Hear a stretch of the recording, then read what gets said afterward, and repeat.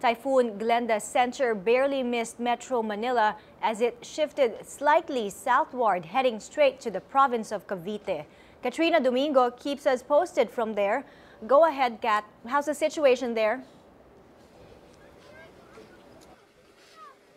My, after the six-hour devastation of Typhoon Glenda in Cavite, Cavite Governor John Vic Remulla reports three people dead in his province. A man died earlier in Dasmariñas after a post fell on him while he was riding his motorcycle during the onslaught of Typhoon Glenda. Another man died after a tree crushed his home in Indang, Cavite, while in General Trias, an 11-month-old baby girl died after she was hit by a hollow block from a wall that collapsed. My, other than these victims of Typhoon Glenda in Cavite, over 1,000 families are already situated in evacuation areas in Cavite City, Noveleta, Rosario, and Tanza.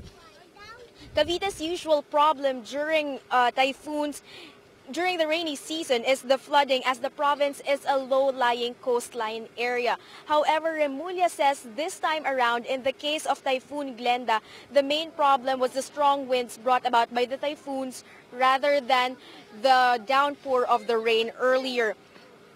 This is also the reason why he was forced to declare a state of calamity in the province. Remulla says he plans to spend about 12 million pesos from the province's calamity funds. Of this amount, my 6 million will be spent for food assistance to provide food and meals for the families who are already situated in the evacuation areas and who became part of the preemptive evacuation that was implemented earlier this morning.